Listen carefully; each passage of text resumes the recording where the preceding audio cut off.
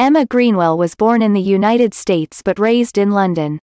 After graduating high school she applied to drama schools and did a play at the Edinburgh Festival. She studied acting at Hurtwood House and LAMDA. After graduating, Emma moved to Los Angeles and booked her first role of Mandy Milkovich on the critically acclaimed series Shameless USA.